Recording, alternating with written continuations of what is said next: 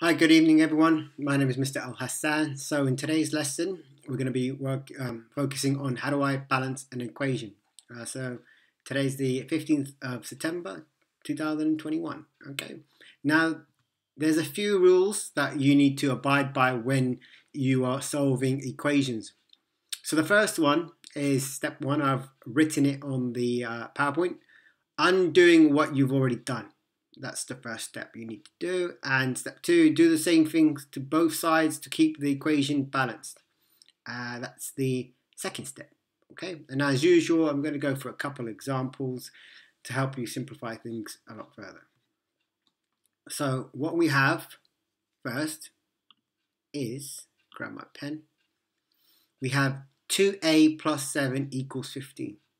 Now, the first thing we need to do is to ensure that the positive 7 is cancelled out. Now to cancel it out, we need to eliminate, and to do that, we're going to minus it by 7, because 7 minus 7 is equal to 0. So we're literally undoing this equation, which is step 1. 7 over here. Now 7 minus 7, as I said to you before, gives us 0, cancels out. 15 minus 7 is 8 on this side and what we have left on this side is 2a.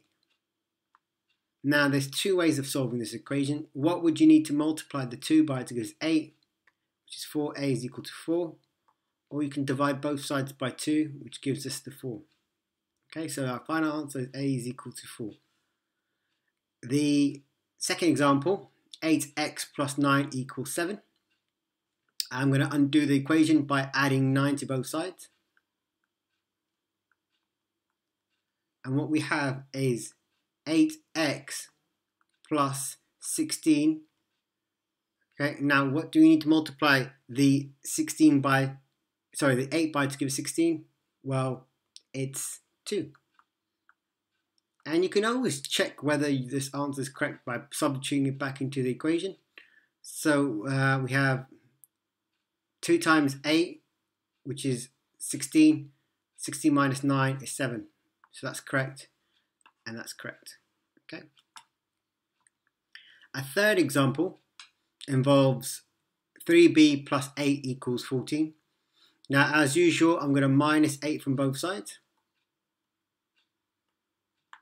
And what we have is 3b is equal to 6. Now again, at this stage, what you need to do is ask yourself, what do I need? What do I need to multiply the three by to give us 6? Well, b is equal to 2. And that's our final answer. Um, now let's have a look at this question again. So we've got 10c minus 8 equals 24. I'm going to add 8 to both sides. And what we have is 10c is equal to 32. Now what do I need to multiply the 10 by to give us 32? Well, the answer is 3.2. Okay? Again, you can always check whether your answer is correct or not by putting it back into the equation.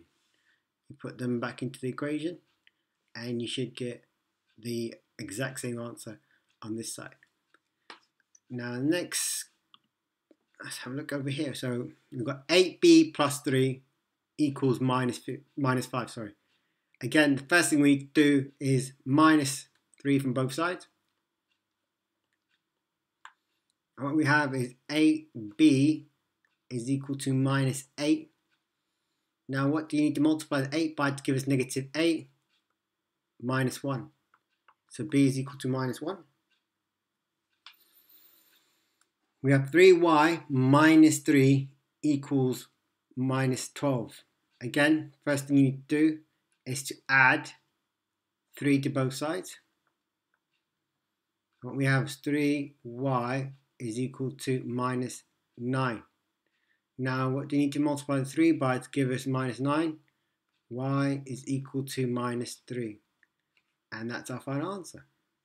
Again, just check it, plug it back into the equation, and it should equal to the final answer. Um, what we have here is 3b plus 4 equals minus 5. as usual, I'm going to undo the equation by minusing 4 from both sides. Minus 4. We have 3b equals minus 9. 3 times something gives us minus 9 minus 3. Okay, and over here we've got 6y minus 6 equals minus 12. We're going to add 6 over here, add 6 over here. What we're left with is 6y is equal to minus 6. What do you need to multiply the 6 by to get negative 6? y is equal to minus 1. And that's our final answer. Um, you can test yourself with these uh, series of questions. So the first one, these are not really one-step equations. Uh, sorry, two-step equations. They are one-step equations. So what do you add to 8 to equal to 23? That's a simple one. Uh, have you got this question? 17d minus 4 equals 3. Uh, 6c plus 6 equals 12. 2k plus 7 equals 23. You can pause the video and have a go at these questions. And yep, so I'm going to give it, skip it to the main set of questions. So just bear with me. Okay, so pause the video and have a go at these questions. All right, thank you very much. Bye.